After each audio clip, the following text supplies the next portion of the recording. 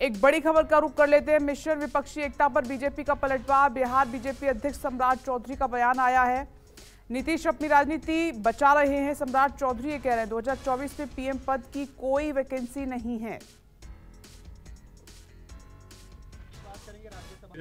देखिए सारी बातें माननीय मुख्यमंत्री जी ने स्पष्ट रूप से कही दी है। उनका अध्यादेश है वो पास करवाने में मदद करेंगे। उनकी मुहिम को किस तरीके से? नवीन पटनायक, ममता बनर्जी, अखिलेश यादव, दिल्ली में वो खड़गे से मुलाकात कर रहे हैं। बिहार बिहार में ही कुछ नहीं उन्होंने किया। 2013 के बाद कोई काम नीतीश कुमार जी ने बिहार में किया हो तो बता दीजिए। सिर्फ़ एक काम किया, सरकार बचाने का। जब बिहार ही नहीं ठीक कर पाए, जिस प्रदेश का 50 परसेंट लोग गरीब हो उस प्रदेश का मुख्यमंत्री जेट प्लेन हमारे साथ बिहार बीजेपी के प्रदेश अध्यक्ष सम्राट चौधरी जी हैं।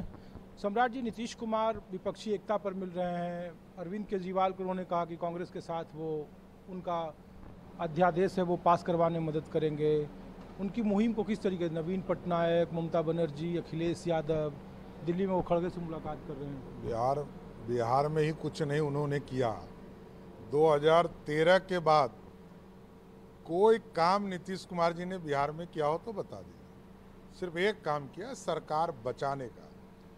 जब बिहार ही नहीं ठीक कर पाए, जिस प्रदेश का 50 परसेंट लोग गरीब हो, उस प्रदेश का मुख्यमंत्री जेट प्लेन लेके कहाँ से घूम सकते हैं?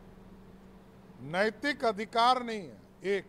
दूसरा, नीतीश कुमार जी को मानेगा कौन? बिहार ही नहीं मान रहा है, देश कहाँ से मानेगा? बिहार में उनकी औकात राजनीतिक हैसियत है क्या? कि वो अपने बल पर चुनाव लड़ सके? तो देश में कैसे कोई मानेगा? जो व्यक्ति अपने स्टेट में नहीं जीत सकता हो, वो दूसरे स्टेट में कहाँ से जीतेगा? नमस्कार, मैं हूँ मानक गुप्ता। अगर आपको हमारा ये वीडियो पसंद आया हो तो इसे लाइक और शेयर ज़रूर करें।